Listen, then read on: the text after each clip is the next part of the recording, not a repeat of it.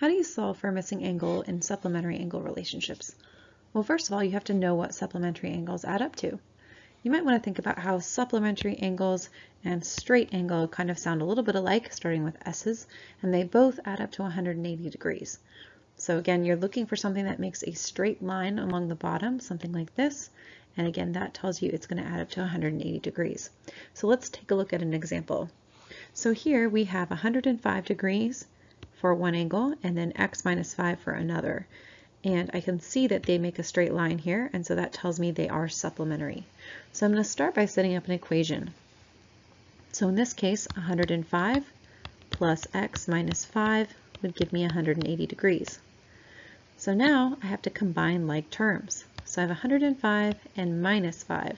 Those are both numbers that I can combine. So 105 minus 5 would give me 100 plus x equals 180.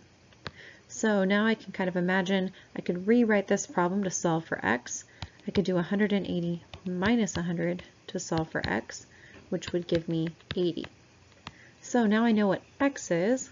x is 80. And now I'm ready to find my missing angle. So in this case, I've been asked to find angle DBE, this angle right here. And so I'm looking for x minus 5. And so in this case, I'm going to take 80 and subtract 5, which would give me 75. Now, the other important thing to do after you've finished each one of these kinds of problems is to check your answer. So I know that both of them should add up to 180 degrees since they're supplementary angles, but I just want to double check that I did my math correctly. So 105 plus 75 gives me 180 degrees. So I know that that answer is correct. Let's look at one more. In this case, I have something a little bit different. I have x minus 35 and x plus 35. So I'm going to go ahead and set up my equation. Again, I notice that they make a straight line across the bottom here. So I can write x minus 35 plus x plus 35 equals 180. I know that might look a little bit scary, but again, I can combine like terms. So I have two x's, I can rewrite that as 2x, and then I have a minus 35 and a plus 35. So if you imagine I get 35 and then I take away 35, that becomes just plus 0. So then I've got 2x plus 0 equals 180. Well, that's really just 2x equals 180. And so now I can rewrite this 180 divided by 2 to find my x value, which is going to give me 90. So now I'm ready for the next part. I know that x is 90. Now I can find the specific angle I've been asked to find.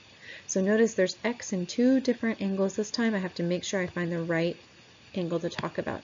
So this is asking me about angle CBD. So in this case, CBD is right here.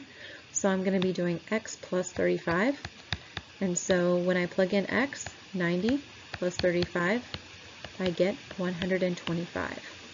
And again, I could find the other angle as well if I wanted, just to be sure I'm right x minus 35 would be 90 minus 35, which would give me 55. And so I think this is 55 and this is 125, but I can add them together just to make sure that they are truly supplementary. And when I do that, I get 180. However, again, I'm being asked for one particular angle. And so in this case, my final answer should be 125 degrees, because that's the one I want to know about. All right, that's it for supplementary angles.